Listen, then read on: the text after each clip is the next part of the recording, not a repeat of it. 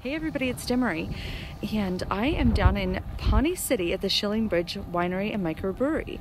So if you guys are looking for a different winery to check out, definitely come down to Pawnee City, which is about an hour and 15 minutes from Lincoln, and check out SchillingBridge.